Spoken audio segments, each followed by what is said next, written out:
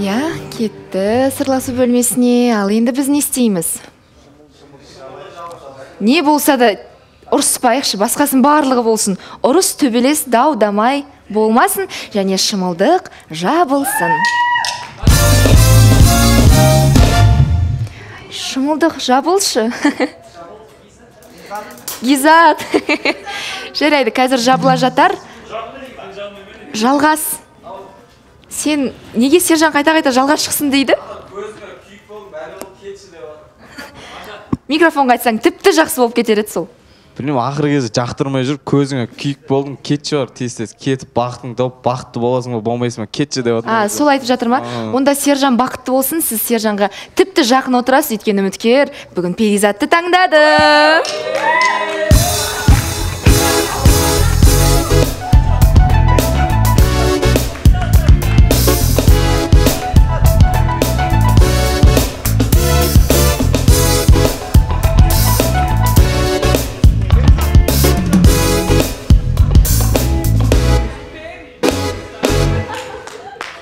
Перизат ханым өте әдемі болып тұрсыз. Көңіл күйіңіз жақсы ма? А бәрі жақсы. Шымылдығымыз жабылмай қалыпты. Рахмет сұлтан. Иә. Көңіл күйіңіз қалай? Жалпы үміткер қабылдауға дайынсыз ба? Дайынмын. Сізге қарасам бір қорқыныш бар сияқты. Иә иә бір сенімсіз жауап беріп отырсыз. Білмеймін постоянно қорқып отырамын білмеймін. Неге қорқасыз? Әлі үйрене алмай жатырмын. Біз негізі түсіне алмай жатырмыз сізге қандай адам керек сіздің нақты талаптарыңыз қандай енді. Осы шығатын үміткер сол талаптарыңызға сай деген үміттемін. Сізде барынша ашылып бірден шорт шешім қабылдап кесіп тастамаңызшы деп айтқым келеді иә? Мен барынша сыйластық танытайық. Мен талабым біреудің ала жібін аттамаған ақ пен қараны ажырата алатын адал жан жанды былығы жоқ ә, таза жүретін шынайы түсініген адам адамға жан ашитын балажанды ә, қолы ашық адам. Тіпті сіз дайындалып келіпсіз ғой иә талаптардың астын сызып тұрып айтып бердіңіз. Енді қанша дегенмен көңіліңізден шығатын ер азамат келді деп ойлаймын. Дайын болсаңыз шақырайық. Иә?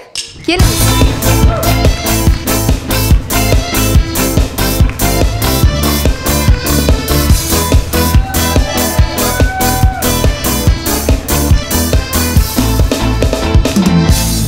Қош келдіңіз аға танысайық есіміңіз кім? Қай жақтан келдіңіз? Қош көрдік. Атым Тұрысбек. тұрысбек. Қарасай район село Чумаганамын. Түсінікті. Тұрысбек аға немен айналысасыз? Мен сол Қаскеленде охрана организация істеймін, охранник болып. қауіпсіздік саласында иә? Ә, түсінікті. Ал неге біздің перизат ханым? Несімен ерекше болды? Енді біріншіден кішкене ұнаттық қой енді. Екіншіден енді жалғыздықтың азабын тартып жүрген адам сияқты болып көрінді. Мен бір бірімізге лайықты ма деп ойладым. түсінікті аға сіз өзіңіз бұрын соңды үйлі болдыңыз ба отбасылы болып көрдіңіз бе Отбасы болған. Болғанмын, екі балам бар, олар уже үйлі баранды болып кетті. Қазір жалғыз өзім тұрамын. қаскелеңде жалғыз өзіңіз тұрасыз Иә, ал балаларыңыз ұл қыз? Екі ұл. үйленген? Да, иә. түсінікті рахмет. Ал енді сөз кезегін мен перизат ханымға берейін. Сұрақтарыңызды қойыңыз. Және кешірім сұраймын дарина иә өзін тамағы ауырып тұр су ішіп келуге болады. Жайсыз сезініп тұр. Кешірім сұраймын жалғастыра беріңіз. А, атын кімден қалдым. А, саламатсыз ба? Тұрысбек аға. А, Саламатсыз. Тұ- тұрысбек аға.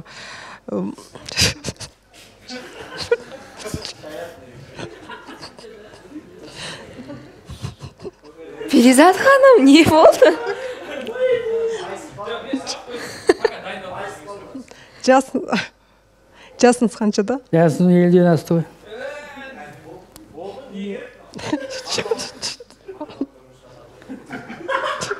қатысушылар.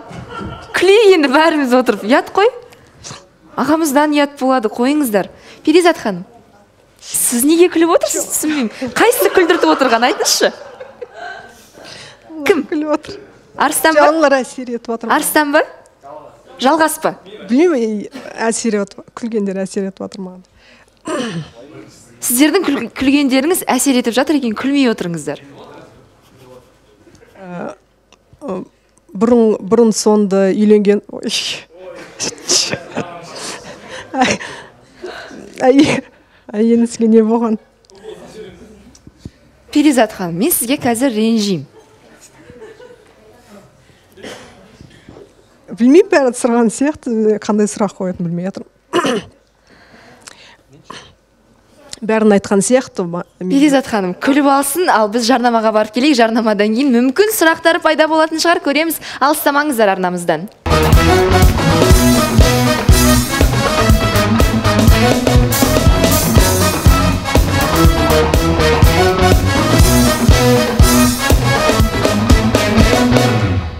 Құрметті көрермен жарнамадан оралдық. Тікелей эфирде еуразия бірінші арнасында махаббат мекеніне айналған қалауым жобасы және жарнамаға дейін біздің перизат ханымға тұрысбек есімді үміткер келді. Бірақ біздің перизат ханым күлкісін тия алмай және ол қуаныштың күлкісі деп ойлап отырмын өзім.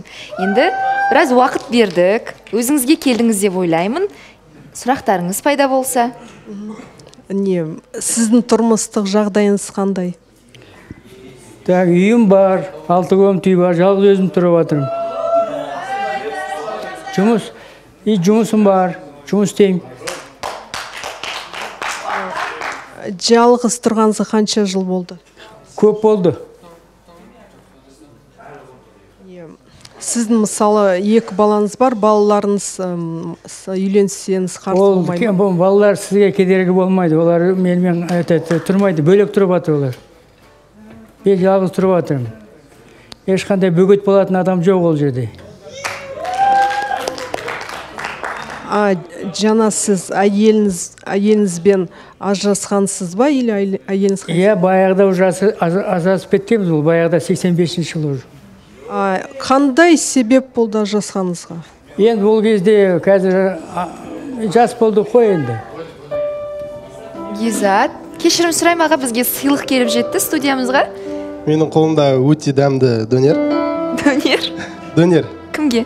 Бұл құпия құпия қыздан құпия арудан жалғасқа. Вау! Ал гизат табыстай ғой өзің табысташы. Жоқ жалғас. А дарина бере ме?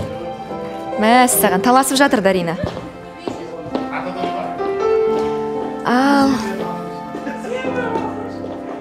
Е ұшқын пайда болып кетпесін тезірек бер. Дөнер келді ал енді дөнердің иесі біз сізді студиямызда күтеміз. Үміткер болып келіңізші. Ал сіздерге оралайық. Ажырасқам дедіңіз 85 жылы. Иә баяғыда ажырасып кеттік қой. Енді сол ол уақыттан бері үйленбедіңіз. үйленген жоқ жоқ енді үйленеміз ғой деп жүрдік те уақыт өткізіп алдық қой. Түсінікті. Хабарласқан көрерменіміз бар екен. Тыңдайық қандай сұрағы бар пікірі бар ма екен? Алло сәлеметсіз бе? Тікелей эфирдесіз. Қайырлы күн иә қалауымдасыз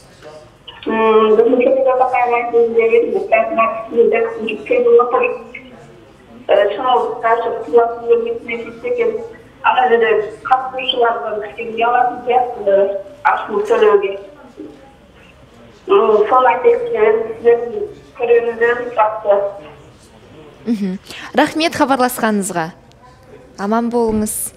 Перизат ханым көрермен пікірі бойынша сіз біздің қатысушылардан қысылып отырсыз. Дейді мысалға міне гүлжайнаш пен арыстан осылай сөйлеп отырған кезде сізге кедергі келтіріп жатады дейді кейде.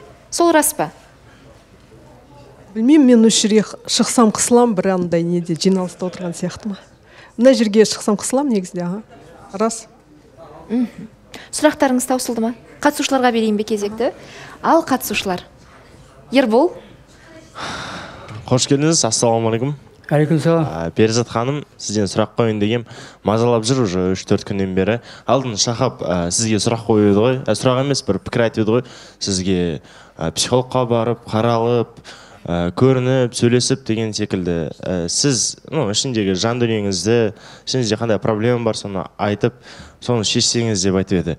Және соны сұрақ қояйын деп жатырмын сіз соған бардыңыз ба? Мен негізде баратын едім оған менің жағдайым жоқ.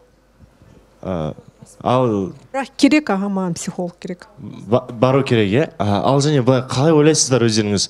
Ә, егер отбасылығың ішінде ұрыс керіс болып жатса немесе бір бірлеріңізді түсіне алмай жатсаңыздар бірақ ә, бір проблема болып жатса психологқа жүгінесіз бе? Сол дұрыс па? Психологқа жүгіне. Оған мен ойлаймын ә, жағдайым болса если жағдайым болса она так не знаю. Бірақ негізі баруды құптайсыз. Иә иә қарсы және емес. көрермен дұрыс түсінбей қалмасын неге бұл сұрақты ербол қойды деп өткен бағдарламалардың бірінде шахап қойған еді ә, перизат ханым өзі айтқан едіңіз. Иә мен жалғыздықтан шаршадым және көп уақыт бойы жалғыз болғаннан кейін адаммен танысу әсіресе ер азаматпен танысу маған қиынға соғады. Және бір ашылу барысында бір диалогқа тез ілігіп кету мақсатында психологпен белгілі бір жұмыстарды жүргізу. Және сіз егер ыңғай келсе баруға дайынсыз қолдайсыз. Рахмет түсінікті. иә алинаның сұрағы бар екен осы қалауымдағы алғашқы сұрағы. Алина? Тұрысбек саламатсыз ба? Қош келдіңіз. Саламатсыз ба? Менде мынандай сұрақ бар. Балаларыңыз бар екен. Негізі ә, ақылдасасыз ба осы перизат ханымға келдіңіз мысалға? Қандай көзқараста? Бұл бірінші сұрағым. Екіншісі ә, болашақта егер де отбасы болып кетсеңіз ә, жақсы болып кетсеңіздер балалы болуға қалай қарайсыздар? Балалы болуға қарсы емеспін даже қуанамын. Ал балаларыңызбен ақылдасасыз ба дейді алина? Жоқ енді мен енді ол айтсам мақтаныш болып кетеді. Өз билігім өзімде. Өзім решать етемін бәрін. Түсінгенімдей олар ер жетті Иә. әрқайсысы үйлі баранды болып кетті. болып кетті. дегенмен ә, арадағы байланыс қаншалықты жақсы? Енді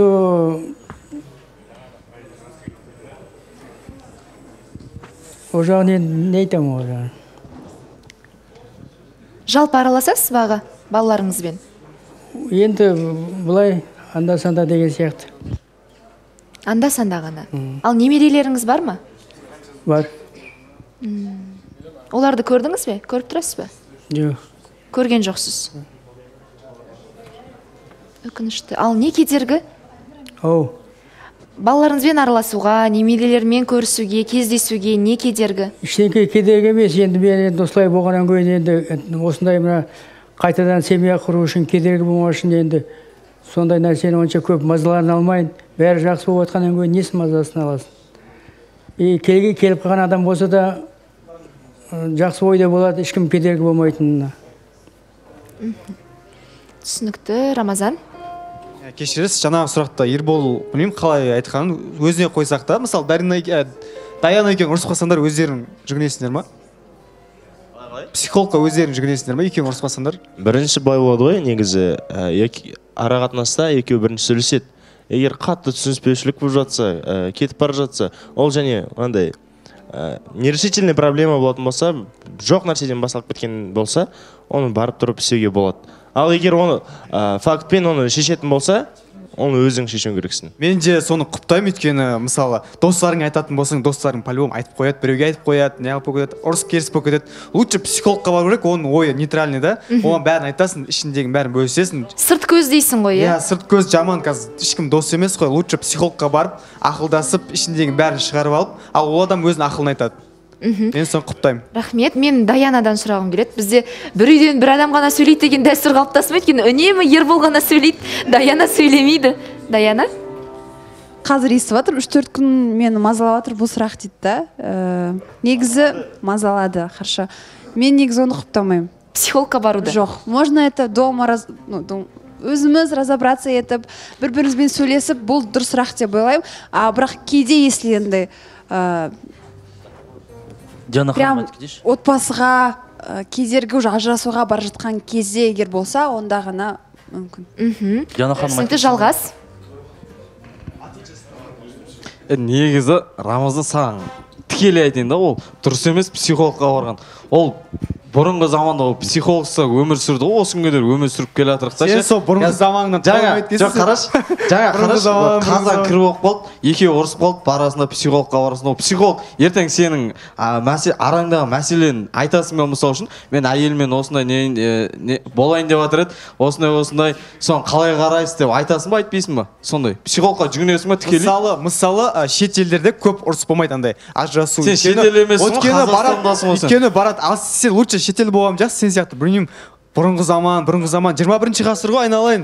Қазір қазір. Неше түрлі не бар кішкене аузыңа байқап сөйлеші рамазан. Байқап сөйлеп жатырмын мен. Е онда шетелде мына жақта неғып жүрсің онда шетелде шетел сияқты жоқ мен айтып келіп шет жатыр. елде солай психологиямен жүгінеді. Ал сен мына жерде отырасың бұрынғы заман бұрынғы заман деп. Бұрынғы заман емес қазір жиырма бірінші ғасыр жаттап алсың сен қай заманда өмір сүріп жатрсың жиырма бірінші ғасырда. Ау? Мен жиырма бірде өмір сүріп жатырмын бірақ сен қай жоқ сен мысалы үшін да сенің енді бүйтіп дұрыс түсінбей жатыр сенің ата анаң осы психологқа жүгінді ма мысалы үшін? Жүгінді ма? иә жүгінді барады психологқа сөйлеседі осы жерде өтірік айтпақ қойшы ол кезде психолог деген міне енді шығып келе жатыр ғой. Психолог деген бұрыннан бар. Мен есімде мектеп кезден бері бізге психолог апай келіп сөйлесетін сол кезде. Өзім баратынмын жана ханым бір бір нәрсе айтып кетейінші иә бақытжан аға. Жалғас мен саған айта кетейін иә.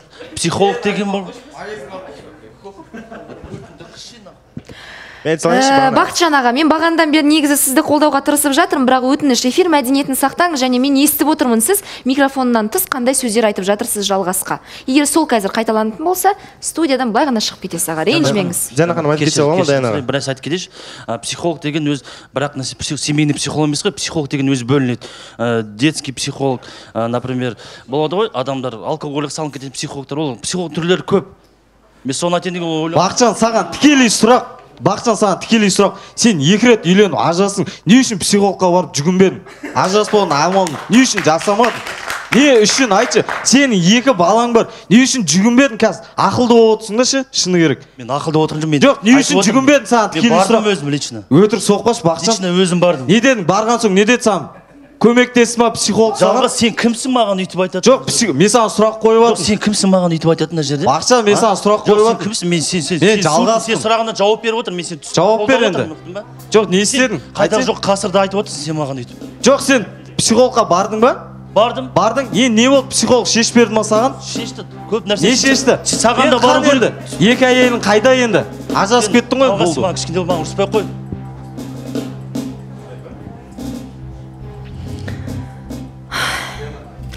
арыстан. Негізі бар ғой мына жақта бару бармаудың мәселесі болып жатыр ғой енді психологқа енді әркім өзін білгенін істейді ғой. Негізі екі жалпы ерлі зайыптылар жұптардың арасында проблема болып жатса неге ол психологқа бару керек? Неге ол өздері шешпеу керек оны? Дұрыс па? Онда бір бір психологтан ұстап бәріміз бірге тұрайық онда сонымен? Негізі деймін даші сосын жаңа тұрудың қажеті жоқ өйтсе ол саған дұрыс пікір айтып отыр негізі. Шынымен де. Бақа бағанадан бері сені сыйлап отырмық қой негізі қолдап отырықшы. Сен шынымен де сушняққа баратын уақытың келді ау деймін негізі. Сержан не дейсіз? Диана ханым ішім ашып күйіп өртеніп бара жатыр Сөйлеңізші. айтқанда. Сен сияқты қазақ болғанша шетел болғаным артық деген не әңгіме деймін да. Қандай болсын болмасын сен де қазақсың. мен шетел болғанша да айтқан жоқпын сен дұрыстап тыңдағаншы че то рамазан айтып алайын айтып алайын. Жоқ айтқан жоқпын мен айттым. Сен бәрібір сен бәрібір қазір 21 сен ғасырда деп айттым. шетелді қолдап отқан адамсың. Жоқ шетелде сондай нәрсе бар деді Диана дамыған. ханым, бір оқиға болған. действительно шетел дамыған бізге қарағанда. тұра тұршы бұрында бұрынғы иә өткен кезде мен әскери қызметші болдым да.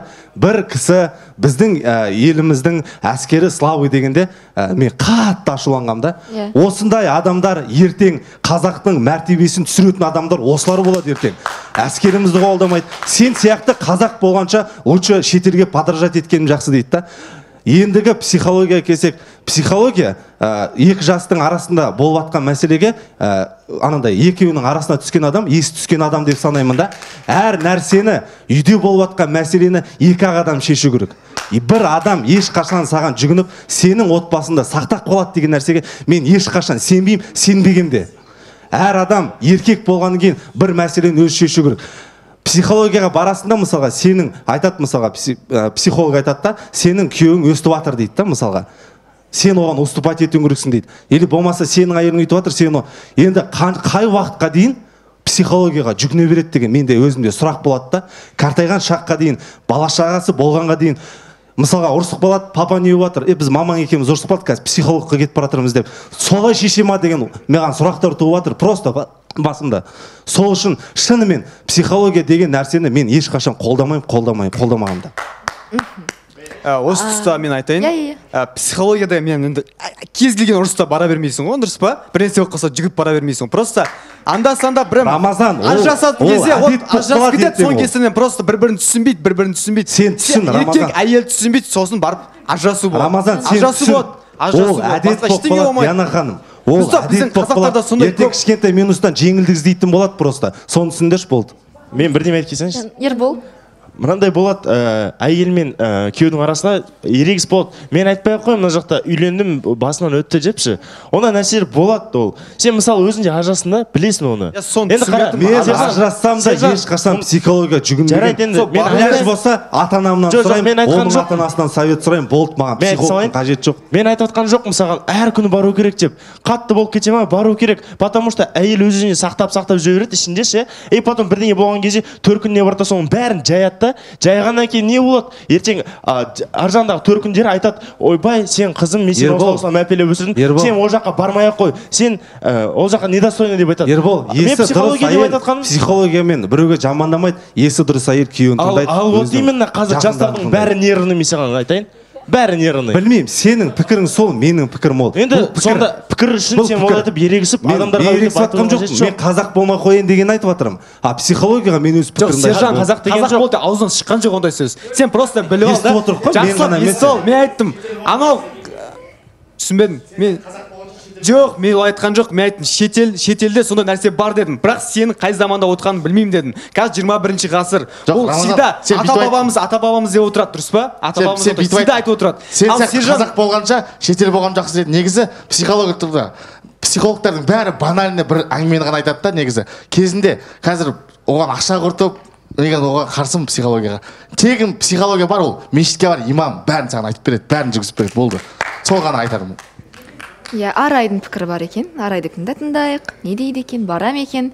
Бармай ма екен? Негізі мына жерде қатысушылар диана ханым байқап тұрған шығарсыз только андай нені ғана қозғап жатыр да. Әйел мен ердің арасындағы ұрысты ғана талқылап жатыр. Психологқа оның вообще қатысы жоқ деп айтамын да. Психологқа қандай адам шахаб не үшін айтты? Перизат мысалы перизат ханым ол адамнан қорқады. Ол жылап отыр. Ода ол келген кезде айтқан менде сөйлесетін адам жоқ деп. Соған қарай психологқа барудың да мысалы адамдар болады. Ерлі зайыптылардың арасында мен психологқа баратын нәрсені көріп тұрған жоқпын. Психологқа қандай жағдайда бару керек? Егер адам өзінің ішіндегісін айта алмай бір күйзеліске ұшыраған кезде өзінің бір ішінен бір қандай да болмасын бір әңгімесін бастап келе жатқан кезде жылағысы келіп қалатын ішінде күйзеліс болған кезде сондай кезде барған дұрыс деп ойлаймын. Егер бала мысалы болады ғой бір комната бөлмеде қамалып комнатасынан шықпай қалады мысалы. Сол кезде оның айтатын ата анасына айта алмайды. Сондықтан оны кей, кейбір жағдайда ата анасы оны психологқа алып баруға мәжбүр болады. Сондай кезде мен психологқа баруды жөн көремін. Мысалы перизат ханымның жағдайында психологқа не үшін бару керек? Өйткені айтатын адамы жоқ. Ол кішкене ашылу керек. Неден қорқамын мен? Неден неге мен адам баласынан қорқамын сондай кезде ғана психологқа барған дұрыс. Бірақ ерлі зайыптылардың арасында психологқа бару деген ұғымды мен қолдамаймын. Мхм. Жайық. Ә, негізі қазір психологтар психологияны ә, бизнес қылып дамытып алған ғой. Психолог қылып шақырамыз психолог қылып шақырамыз деп. Негізі психо- психолог деген ол та- ә, тәжірибесі бар кәдімгі врач болып есептеледі ғой негізі психологтар деген. Психологтар психикасы ауытқысы ауытқыған адамдарды емдейді мысалы. Қазіргі психологтар жоқ ол психиатр сен шатастырма. Психиатр мен психолог деген А, екі бөлек адам. Иә, сонымен Иә. біздің қатысушылар ше психиатр мен психологты шатастырып жатқан сияқты менің ойымша. Қатты шатастырып жатыр негізі. Ербол. Жайық сен мына жақта бүйтіп істеу керек бүйтіп істеу керек деп мына жақта қатты нәрсе білесің ба бауырым? Бағанадан бері айтып жатырмын сен қоймайсың да мына жақта. Мен саған айтып жатырмын ә, когда бірдеңе болады қатты. Мысалы мен айттым ғой бірінші перизат ханым сіз бардыңыз ба деп тұрып. Осындай сұрақ болды. Қазір не болды? Мына жақта еркектер еркектер бір біріне қарсы шығып жатыр әйелдер бір біріне мына жақта мыжың болып кетті мына жақта. Мен жай ғана сұрақ қойдым. Мына жақта слишком ақылдысың ба? Или көп көріп кеттің ба? Иә көп көріп кеттім. Сен маған атыламай отқан сияқтысың ғой жоқ атылып отқан жоқпын сен. Қазір еркектік емес та мына сөзіңші қалай еркектік қатындық емес? мен сонда психологтың қандай екенін айтқаным еркектікке жатпаймын мен ей жоқ сен ә, сендердікі дұрыс емес деген секілді айтып жатрсың ғой айтып отырсың сен мен түсініп отқан жоқпын вообще. Білмеймін сен өзіңмен өзің атылып отқан сияқтысың ғой. Е сен психиатр мен психолог шатырсың психологты психологты мен саған айттым. шатастырып е пацан жөндеп жөндеп тыңдашы мен саған сөйлеп жатырмын бағанадан бері. Пацансың сен пацансың. в смысле пацан? В прямом смысле сен пацансың артық кетпей ақ қойсайшы бауырым. Артық кетемін ал көрсетейін ба? Артық кеткенімді? Тағы көрсетейін ба? Жүр.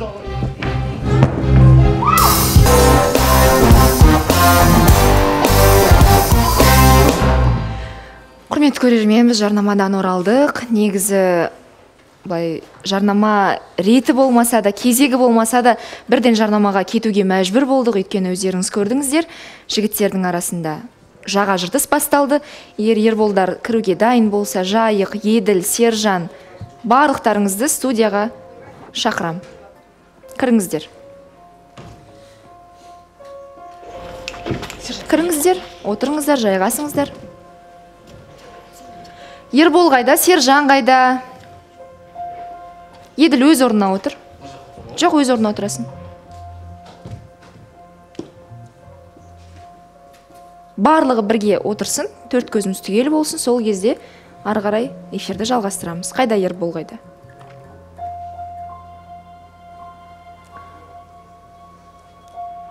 Гизат егер ербол мен сержан сол жерде болса тез студияға алып келші өтініш.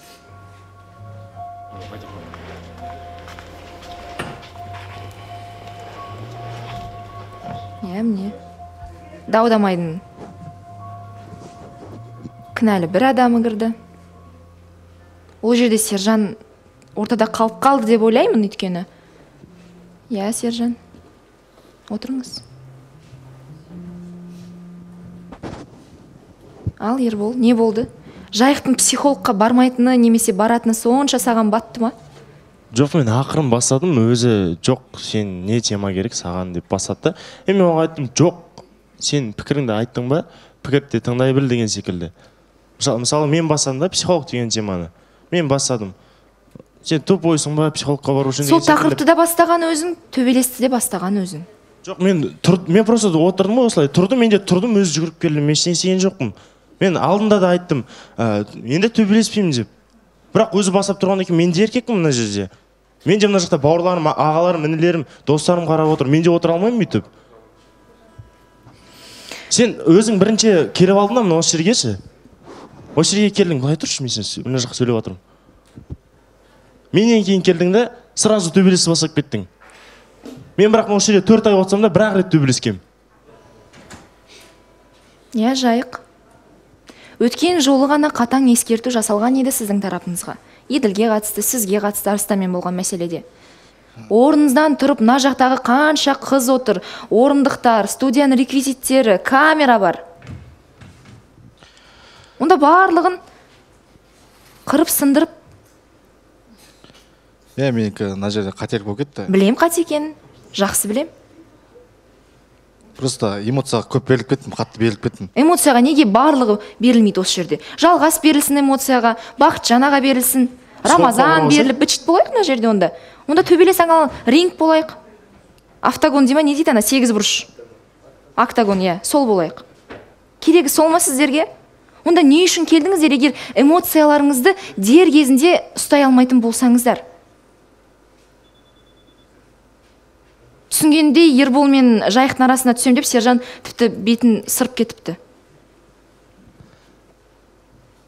Бір біріңе не доказать етіп жатқандарын түсінбедім бірақ ә, екеуіңнің араларыңа түсемін деп ә, кімнің? Ерболдың. Е блатнойсыңдар ма? Ә, мықты төбелес баятсыңдар ма? Ә, жүргізуші тұр. Иә мен де қателігімді істеген болатын. Бірақ одан кейін мен қателігімді қайталамаймын деп уәде бердім мен оны істемеймін де. Егер бір біріңе доказать еткілерің келсе диана ханым айтқандай рингқа барыңдар. Бір біріңді кім екен мощный екен сен де айтып жатрсың ербол достарым бар деп. Сенің де бауырларың бар деп жатсыңдар бір біріңе рингқа барыңдар да доказать етіңдер түсірейік. Ертең осы жерде көрсетейік кімнің мықты болғанын саған да жайық айтамын ғой постоянно еділ екеуіңе. Конфликтке кірмеңдер деп. Қанша айтуға болады мысалға? Екеуіңді көбірек танимын мен қазір халық басқаша түсінеді уже айтып кетсе болады ма сержанға сержан ә, мен өткенді білгің келмейді да бірақ саған бір дырылдатамын деген сөзге тұрып кеткен адамсың да ал мына жақта ербол мен айтып отырмын қателігімді істедім мойындадым бірақ қайталамаймын деп жатырмын сен бірінші рет сенікі де болды ғой қателіктерің болды болды шахаппен болды иә ерболдың шахаппен болды өйткені мен оған до этого қанша рет айтқанмын қой қой деп айтқанмын оны бәрі біледі. Ал жарайды егер біз қазір бәріне жол беріп қойдық жайық екеулеріңіз осы жерде күш сынастыңыздар. Одан кейін не шешілетін еді? Маған сол қызық. Кім мықты болғанын анықтадық. Мысалға ербол сен жықтың делік жайықты иә? Сонда сен не дәлелдейтін тура шахап секілді маған үндеткізбейтіндей қылып қоятын едім. А сол керек иә саған? Солай керек. Болмаса мынау онда мүмкін сен жобадан шығып кетесің саған ұнамайтын пікірлер айтылмас үшін. Диана ханым өзі тұрып тұр ғой мен емес.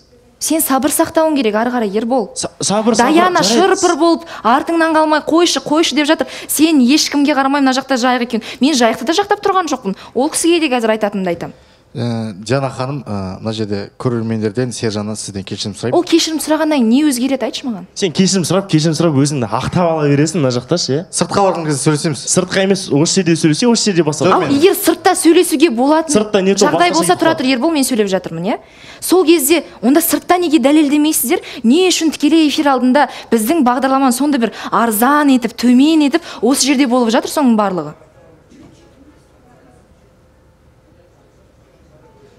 Ары қарай талқылағым да келмейді шын айтамын. Ербол және осы жерде жоқ айтпайсың. Сізден кешірім сұраймын тұрысбек аға осындай жағдай болып жатыр. Өте ыңғайсыз болып кетті. Перизат ханым сізден де кешірім сұраймын. Тіпті жастарыңызды да сыйламай таныстықты да сыйламай. Эфирді жалғастыру керек қанша дегенмен шыңдықты ашып аламыз ба? Шымылдық ашылсын.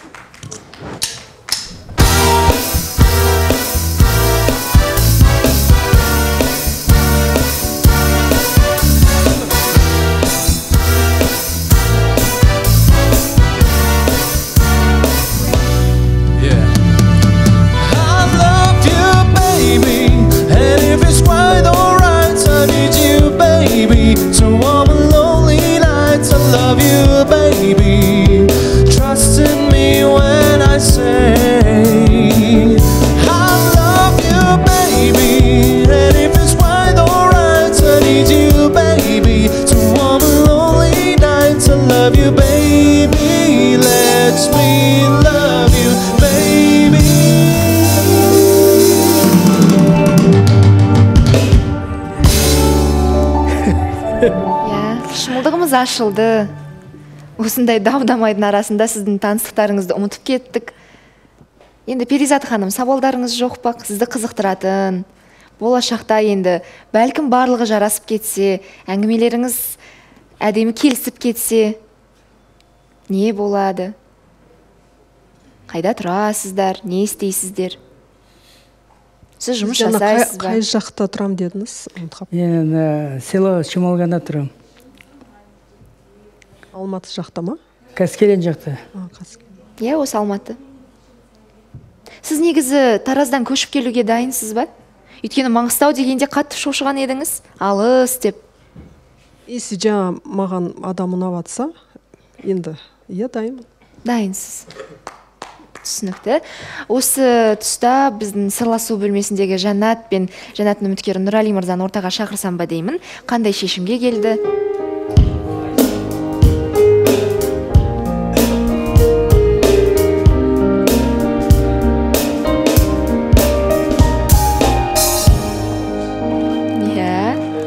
Гүл шоқтарын көтеріп алып шықты.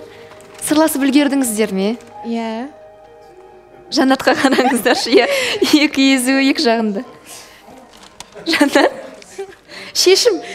Шешім. Ары қарай жалғасады иә. Жалғасады. Құттықтаймын. Онда бүгін ерекше бір керемет кездесу ұйымдастырыңызшы біздің жаннат үшін. Жақсы әрине иә. Құттықтаймыз. Шығарып салайық.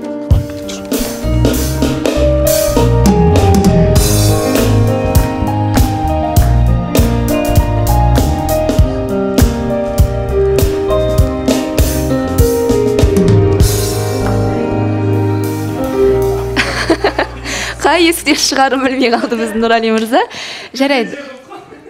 Енді бақыттан бас айналған адам сондай болады арыстан. Сенде де сондай күй болсын. Саған сол жұғысты болсын деймін. Ал енді тұрысбек аға сіз енді ақыл тоқтатқан ер азамат ретінде жаңағы жағдайды көрдіңіз. Біздің жігіттерге бір ақыл кеңесіңізді айтыңызшы. Өмір көрген тәжірибесі бар адам ретінде. Иә ер бекіспей ер шекіспей бекіспейді дейді ондай ондай бола береді. Ештеңке жоқ ренжімейсіз ғой біздің жігіттерге. ерке осындай бір бірінің сөздерін көтере алмай қалатыны бар. Ал енді перизат ханымға келіп отырсыз. Перизат ханым міне ұялып ашыла алмай отыр сұрақтарын да ұмытып отыр. Иә. осындай біздің тұйық адам деймін енді. Таныстыққа кедергісін келтірмейді ғой сіз үшін. Мәселе емес пе? Жоқ Енді- барлығы. Ал енді қатысушылардың бір екі сұрағы болса жалғас.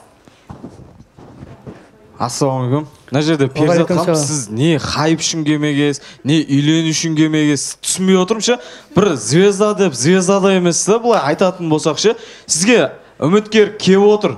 Әп әдемі аяғы таза үсті ә, костюм шалбар киіп алған. Қай жері ұнамай қалды сізге? Айтыңызшы. Мен не айттым өйтіп айтқан жоқпын ғой. бір менсінбей отқан адам сияқтысы бір. Бүйт бүйт қарап алып бүйтіп отырсыз да кішкене қарасаңыз сіз үшін сонау жерден келіп отыр сізбен танысу үшін бір үміт үміттеніп отыр ғой сізден. Мен ұяламын өйтіп сразу қарауға? Ұяламын өйтіп қарауға? Жоқ бір шынымен сізге бір психо- психолог керек сияқты шыны керек. Иә. Рахмет жалғас арыстан. Перизат ханым біз сізді түсінбедік ше?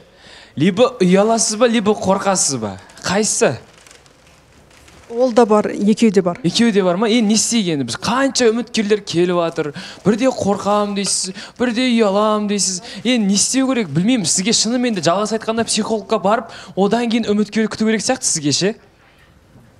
Жарайды ақшасын төлесем барамын жоқ жоқ жалғас төлейді бұл жақта. Бұл жерде спонсор жалғас егер де психологқа барамын десеңіз бізде спонсор жалғас төлейді. Рас қой иә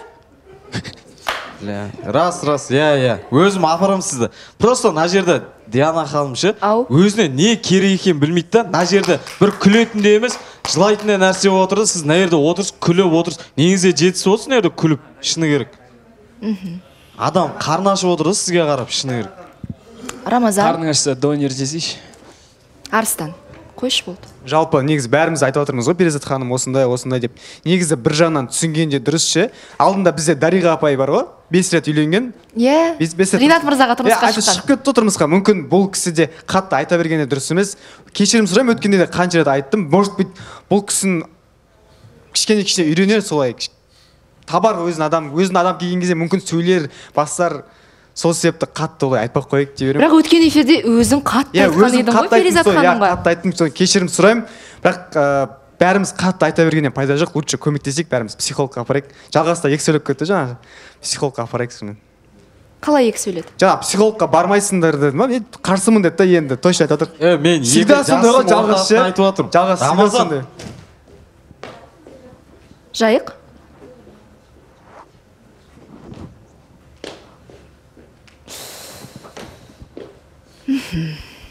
Осындай міне сыртта редакторлар сөйлесе жатар деп ойлаймын.